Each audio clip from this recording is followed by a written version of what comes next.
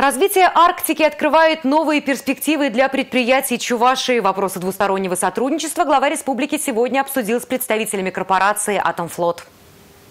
Портовой флот проекта Ямал-СПГ будет оснащен ледоколами, которые работают на сжиженном газе. Они должны обеспечить проходимость грузовых судов в районе Карского моря. В качестве поставщиков электротехники для ледоколов нового типа могут выступить и предприятия республики. Сейчас представители Атомфлота изучают предложения заводов. Те предприятия, которые вы уже вчера посещали, сегодня будете посещать, можете свои, как бы сказать, задачи поставить перед ними, чтобы в перспективе через разработки ваши идеи могли быть реализованы. Порадовал культура производства. Это и оборудование, и отношения, и работа, качество. На сегодняшний день, вы сами понимаете, Росатом в первую очередь интересует не только цена, но в первую очередь качество. Конечно. Потому что это влияет на ядерную безопасность. А в соотношении цены и качества как раз здесь Чебоксарские предприятия могут и выиграть на этом.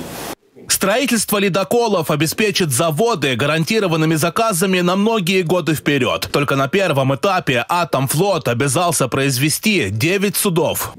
Цена одного ледокола 50 миллиардов. Из них 30% это электротехническое оборудование как минимум.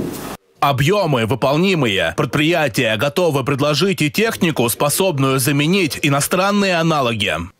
Мы при Росатоме презентовали наши предприятия в Москве.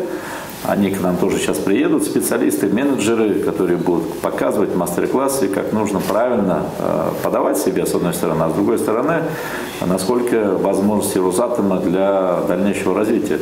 Заключить контракты с предприятиями республики в Атомфлоте планируют в ближайшее время. Поставить ледокол нового типа на воду необходимо уже в следующем году. Дмитрий Ковалев и Борис Андреев. Республика.